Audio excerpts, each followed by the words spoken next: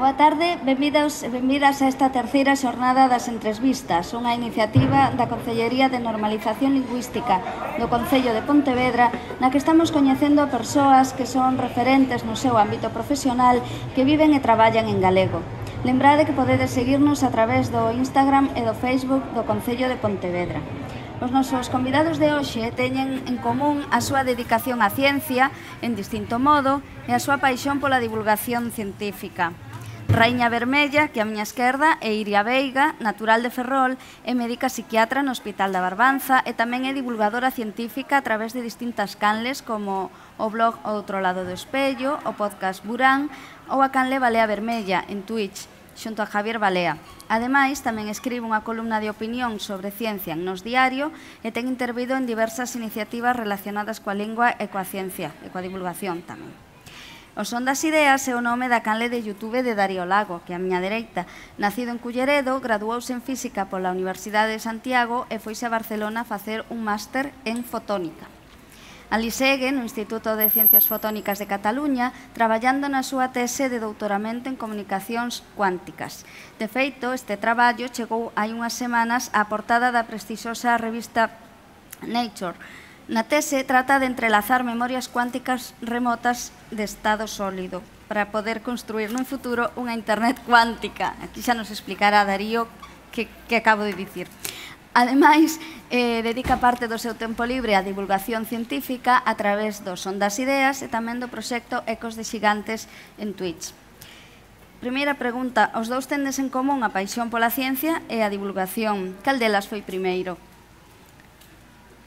Recién empezou eu. Dalle.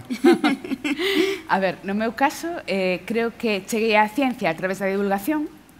Eh, unha vez que decidín que me iba a dedicar á ciencia, tiña claro que parte desa dedicación tiña que ser tamén en facer divulgación científica. Así que eu, personalmente, non entendo unha sen a outra. Uh -huh. E no teu caso, que foi eu primeiro? Creo, eu coido que empecé máis pola ciencia. Primeiro chegou a ciencia e despois vin a través de consumir contido de divulgación que se podía chegar a máis xente a través de contar a ciencia de outro xeito, e despois foi cando descubrín a divulgación e empecé a facer divulgación eu tamén. Uh -huh. eh, eh, todos os vosos proxectos de divulgación, tanto en audio como en audiovisual, como na escrita, son en galego. Foi algo consciente, foi unha elección, algo buscado, Saíbos de xeito natural. Como foi? Xa, no meu caso non foi algo que me tivera que plantexar en ningún momento de xeito ativo, en ningún momento foi unha decisión consciente, foi un paso natural. Quero crear algo de divulgación, que é algo que fago como hobby, a título completamente persoal, e vou non facer pois no idioma no que me comunico normalmente.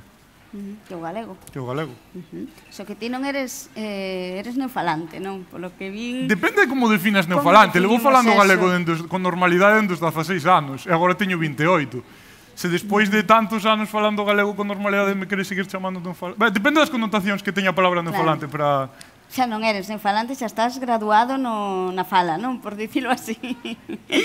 eh, e no teu caso tamén tamén foi algo natural. Sí, para min eh, non, nunca me formulei facelo de outra maneira, pero sí que é verdade que unha vez que empezas a facelo en galego, eh, a miña experiencia persoal, polo menos, é que se che cuestiona.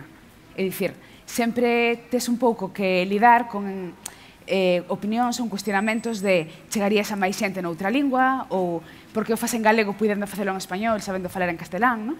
Eh, e aí eu creo que sí que todos hai un momento no que damos un paso consciente de reafirmarnos en facer divulgación en galego. No, no meu caso, polo menos, sí que me parece importante non só facer contido científico, senón facer contido científico en galego. Uh -huh. Eh, vamos a preguntar, non? Cantas veces vos dixeron eso de que es la ciencia en gallego no no no no, no va, non, No sei. non sei, a mí moi poucas porque creo que xa saben cal é a resposta. Xa, pero incluso no aí é que se lle tes que poñer un idioma a ciencia non, non vai a ser nin galego nin castelán, se tes que escoller un Claro se, será inglés. E tampouco é o idioma da ciencia, é o idioma no que se publican artigos científicos porque o mellor é o idioma que comprende máis xente. Eh... No, no ámbito científico, non? Sin embargo, no vosso caso que, que falades para a xente do común, non? Para a xente de a que non temos claro. nin idea do que son as fotónicas estas, pois mellor na, na lingua un pouco máis de, de, de que entenda todo o mundo, non? Eh, existen prexuizos neste ámbito, credes, respecto da lingua? Eu no, creo que sí, eu creo que sí, existen prexuizos.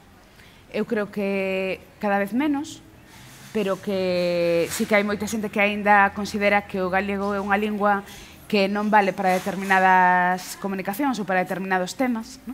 e que é un idioma que debe verse eh, reducido ao cotiá ou, se queres, ao lírico literario, no? uh -huh. pero que non é un idioma axeitado para transmitir coñecementos de tipo científico-técnico. Se crees que hai máis prexuizos neste ámbito da ciencia que noutros noutros ámbitos, non sei, pois o da moda ou o da cociña, por un máis alá do tema máis lírico, non? A ver, creo que en concreto o tema o tema científico técnico sí que é un tema no que se levantan, digamos que máis máis susceptibilidades que igual noutro tipo de temas que teñen máis que ver co cultural. Uh -huh. Eu, polo menos é a miña percepción, non sei que opinas. Uh -huh. O sea, eu en concreto non teño malas experiencias eh, facendo divulgación de ciencia ou falando de ciencia en galego, pero sí que é verdade que despois ves o que se fai e hai moita máis produción en galego noutros eidos que non da ciencia. Entón, imagino que é unha asignatura de que algo está a pasar. Aí estades vos, non? Para para um, compensar esta, esta situación, non? Eh, botades en falta máis contidos en galego nas redes, tanto, eso, non, sobre todo en canales de divulgación, igual non só científicas, non? senón tamén de, outro, de outros ámbitos botades de menos que haxa máis xente que se apunte a Cada vez idea. menos, pero sí, por suposto. Porque hai, o, o mellor, por exemplo, hai algo que non se facía nada ata aí pouco que era gameplays en galego, de videoxogos. Agora, eh, si, si que é algo que se está normalizando moito máis. Eh, pero non sei, hai, hai moitos eidos que empeza a ver cousas, pero mellor hai unha posibilidade. Eh, e non te son de escoller, se non che gusta a persoa que está falando de... Non sei, agora non se me ocurre nada, pero eh, a persoa que este falando desa cousa, pois tampouco podes escoller outra. Entón, uh -huh. pois... Contanos, que, que é iso das fotónicas? Bueno, o sea, a palabra fotónica ven de fotón, que é a partícula fundamental da luz. Ti colles un feixe de luz e, e ao final se puderas dividilo nas súas partículas fundamentais serían fotóns. A fotónica é a parte da ciencia que estuda eh, o comportamento da luz. É unha palabra moi xenérica non, non hai ninguén que sexa especialista en toda a fotónica, porque estuda moitísimas cousas, dende bueno, láseres, eh, óptica, lentes, cuant, bueno, óptica cuántica, que é o meu campo de especialidade. Dentro da óptica cuántica hai comunicacións cuánticas, pero hai moitísimas máis cousas. Uh -huh. Entón, pois, eh, bueno, así un grandes rasgos é a fotónica. Para que nos entendamos, non? Estades aí traballando para facer unha internet máis segura, non? Para que A internet cuántica ten moitas aplicacións moi útiles.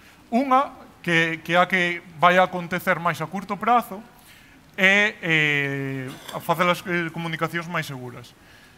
Máis a longo prazo, unha vez teñamos computadores cuánticos, por exemplo, eh, que serán ferramentas moi moi útiles para resolver certos problemas matemáticos, eh, pois poderase, por exemplo, conectar diferentes co computadores cuánticos ao long, eh, que estean localizados en distintos sitios eh, usarás unha internet cuántica para poder conectalos. Uh -huh. Que sería unha mágoa ter un computador tan potente como un computador cuántico e ter que traducir os resultados cuánticos dese ordenador a resultados clásicos, mandalos por fibra óptica e despois eh, comunicar iso outro ordenador cuántico. Uh -huh. Ten máis aplicacións, por exemplo, unha moi útil que eu descubrín hai pouco, eh, aumentar a precisión de observacións astronómicas, Uh -huh. eh, bueno, ten así unha serie de cousas que, que, que van a ter moita utilidade no futuro. Que veremos aí plasmadas na realidade, non? Como cousas que agora nos parecen supernormais, que hai 20 anos ou 30 eran ciencia ficción, non? Eu creo que sí, eh, por eso estou traballando niso. Uh -huh. Pode que non, pero... eh, no caso estrictamente profesional tamén usades o galego, por exemplo, no teu caso, Iria, na consulta. Eh, sigue existindo esa tradicional diglosia de a xente vai ao médico e falan castelán? siguen falando os médicos só en castelán, falan en galego. Eh, sigue existindo a tradicional diglosia. É dicir, a inmensa maioría dos profesionais da medicina eh, por desgraza, aínda empregan o español, o castelán, e moito máis os médicos e as médicas que profesionais de enfermería ou auxiliares de enfermería, é dicir que se combina unha cuestión de eh, xerarquía, digamos, médico-paciente con unha cuestión tamén de clase, que outro eixo que está presente, que ás veces tampouco debemos, debemos minusvalorar o, o poder que ten, E tamén é verdade que os pacientes, cando chegan á consulta por primeira vez, a súa tendencia natural eh, é cambiar ao, ao castelán, aínda que a súa lingua normal sexa o galego. E ti notas eh, eso? Eu noto Cando ves iso. alguén entrar sí. pola porta, notas sí, está se, cambiando, se eu non, non? falo de primeiras ou non, eh, non falo en galego de primeiras, as persoas en xeral tenden a expresarse en castelán, aínda que a súa lingua vehicular habitual se xa o galego. Eh, eu, por suposto, na consulta emprego o galego porque é a miña lingua, pero ademais porque é a lingua habitual da inmensa maioría dos meus, dos meus usuarios. No teu caso, además, na túa especialidade, que é unha, unha especialidade na que a comunicación é fundamental, non? É, é primera comodidade do paciente a hora de expresarse, Exacto. non? É, sí. Importante. é dicir, non é, non é só relatar síntomas físicos, que aí tamén hai un, hai un gap de comunicación, ainda que nos pareza que non, é dicir, unha persoa non expresa o malestar igual na súa lingua habitual que nunha lingua que non domina con tanta fluidez ou no que non, que non se sinte tan cómodo ou cómoda, eh, iso por unha banda, E despois tamén eh, que cando se fala de malestar psíquico ou de vivencias que teñen unha maior componente emocional ou unha maior componente biográfica, eh, eu creo que é moi importante facilitar que a comunicación sexa o máis fluida e o máis cómoda posible para o paciente, tendo en conta que xa é unha situación que pode resultar incómoda de por sí. Uh -huh. Eh, no teu caso, Darío, no laboratorio imagino que galego non se fala moito, non? No, o único galego que se escuita no laboratorio normalmente é cando poño algunha canción ou algún podcast de fondo mentres traballo, pero cos meus compañeros non falo galego. Non hai ningún galego máis por ali, no... No, no meu grupo, por lo menos, non. non. Eh, e ti que vives en Barcelona, non? Eh, notas eh, diferencia no contexto científico, eh, por exemplo, entre o papel que puidera ter o galego ou que puidera ter o catalán? Non sei se tes compañeros cataláns ou mellor que entre eles falen Eh, un, no meu grupo únicamente hubo un rapaz catalán eh, entón tampouco tiña con, el, con quen claro. falar. entón, fal, normalmente a lingua vehicular no meu grupo é inglés. Sí, o sea que, xente... que, que aí é o que falábamos antes, non? A lingua franca do, da ciencia, se houbera que elixir unha, sería esa, De, non? Depende moito, porque é que ou estou nun instituto que é un instituto privado, non unha universidade pública. Uh -huh. Entón entendo que na universidade pública eh, ao mellor igual é menos internacional, non, non sei, non teño experiencia nela. Eh, entón tamén me resulta difícil comparar con como se fai aquí a como se fai aló, porque nin teño experiencia na Universidade Pública Galega, nin teño experiencia na Universidade Pública Catalana. Estou nun instituto no que, de novo, o meu grupo eh, do Estado Español seremos a tres persoas. Uh -huh. E somos un grupo de 12. Con o cual, español tampouco moito, non? Non. eh, E de, e de vivindo en Barcelona a nivel xeral xa non só no, no, no traballo, non no laboratorio, eh, como ves o tema da lingua? Eh, comparando co, como que está o galego en Galicia, por exemplo, ali o catalán é, é outro mundo ou tamén hai eivas comuns? Ba, eu creo que está moito máis normalizado en moitas cousas. Vese, vese moito en cousas como, por exemplo, publi atoparte publicidade na rúa, moito máis normal atopar publicidade de grandes empresas eh, sistemáticamente en catalán. Eh, tam, bueno, teñen cousiñas. Por exemplo, hai unha cousa que non sei se siguen facendo, imagino que sí, que para iniciar a xente a que aprenda catalán teñen unha cousa que creo que se chama voluntariat, voluntariat par, par la lengua, unha cousa así, uh -huh. que é que eh, ti podes apuntarte a sacar ata o nivel A2 de catalán, creo que é completamente gratuito. Eh, está moi ben, incluso nativos, eh, poden eh, ser os teus profesores, eh, como que son voluntarios, eh, te poden, ser, poden se apuntar a dar clases de catalán. Ten así unha serie de proxectos que se nota que teñen o mellor máis pensado o tema da normalización e sí que está máis metido. E é curioso, porque despois falas con eles, Eh, eles pensan que aquí a situación está moitísimo mellor que aló. Non sei por que teñen un estereotipo de que en Galicia falase galego por todos lados. E que non hai eh, problema ningún, non? É moitísimo menos. É moitísimo sí, menos. A verdad que se si ti comparando comparando estas dúas situacións, velo, velo claro, non? Que conste que Barcelona en concreto é unha cidade onde tamén moitos estranxeiros. Uh -huh. Entón, o mellor tampouco é o mellor exemplo.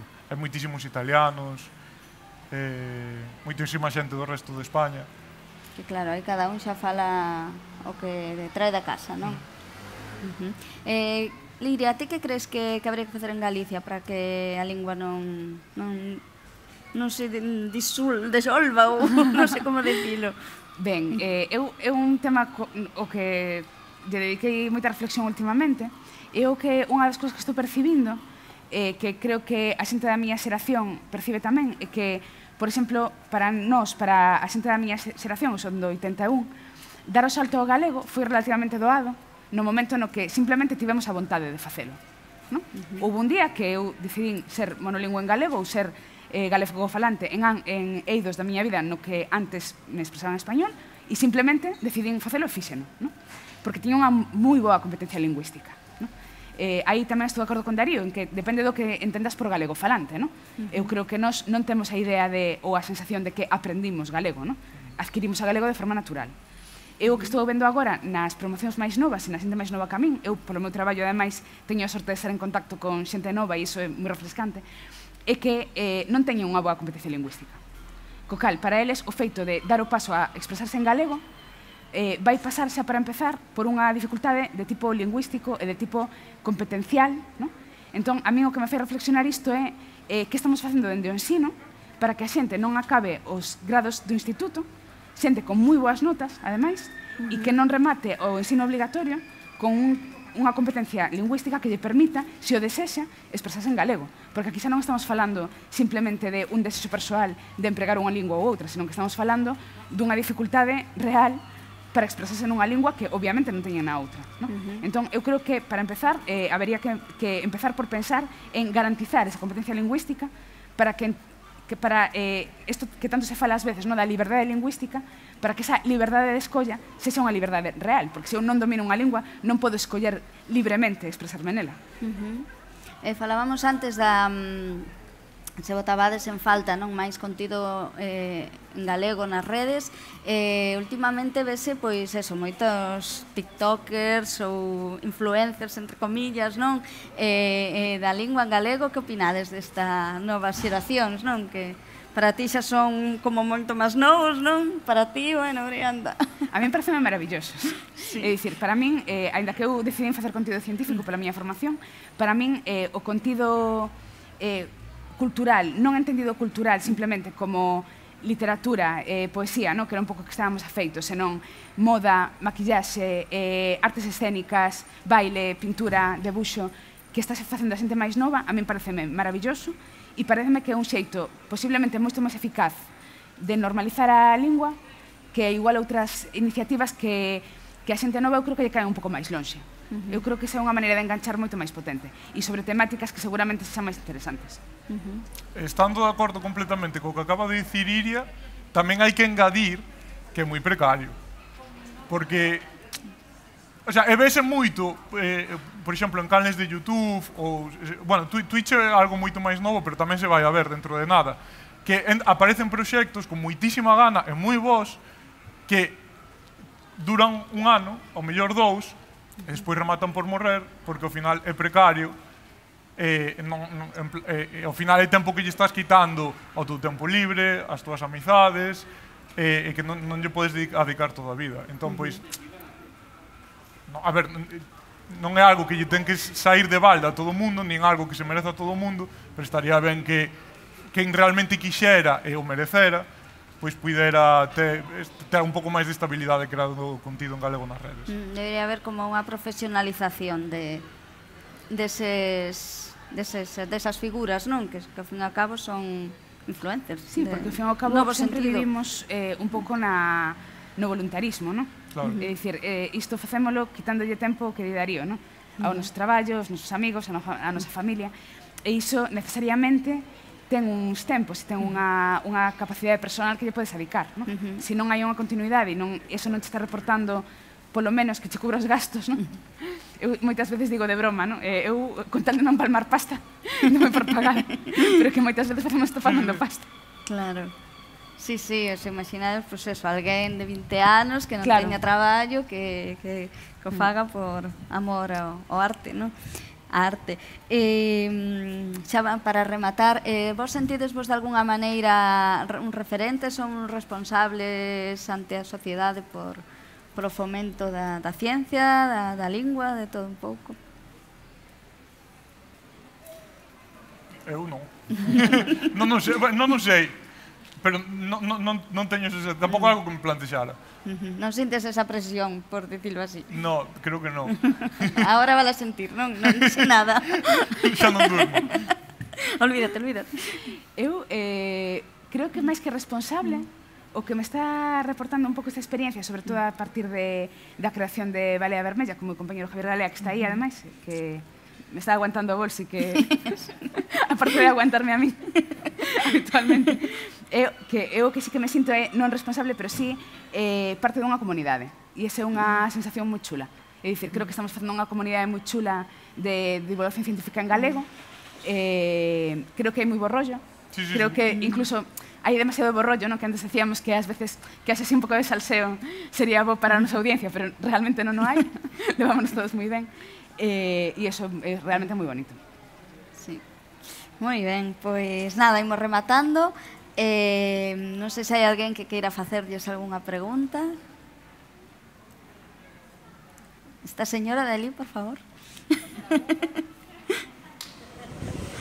Bueno, nada, eu solamente quero decir que eles están facendo, eu vou a facer un apelo á xente da miña xeración, a, non a eles, a nós eh, é un placer ver como xente moza está facendo a súa parte que é o que ten, ofrecelo e ademais ofrecelo de unha forma moi generosa eh, eu creo que tanto Darío como Iria como todo, bueno, a Carmela e Diago que xa vexo por aquí eh, eh, eles, eh, eu polo menos abrime a Twitch grazas a eles. Eh, E eu creo que deberíamos, un pouco todos, irnos apuntando, escollendo ben, porque non todo vale, hai cousas que van ben e outras que non, pero escollendo ben, eh, irnos apuntando tamén facer nos a nosa chega, aparte de suscribirnos, bueno, se podemos tamén botar algo no peto, algo tamén ¿no? como di Iria, polo menos que non fan pasa. Exacto. Que, e eu creo que esa sería, nós somos vanguardier, máis de mirar e de sentarnos no sofá e mirar, e eles fan e fan cousas moi interesantes, e, e un pouco pues, facer un chamado a que a xente se vai apuntando, que o salir de aquí, que cada quen vai buscando nas redes, quen son, que teñen, que fan, e aparte de aprender moito, les aprende un montón, bueno, pois tamén cada quen fai a parte que lle toca. A mellor a miña xeración en este momento que lle toca é apoyalos desde, desde a nosa posición. E moitísimas grazas. Por... A ti. Moitas gracias.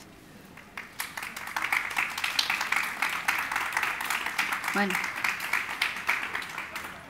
Eh, grazas a todos por estar aquí hoxe. Lembrade que mañán temos unha nova cita con cambio de escenario, porque hoxe temos un día precioso, pero mañán din que chove. Así que eh, os nosos convidados de mañán estarán no Teatro Principal a partir das 8 da tarde. Que son dúas estrelas do panorama artístico, como son Carlos Blanco e David Zamor. Así que, nada, mañán ás 8 no Principal, no Instagram e no Facebook.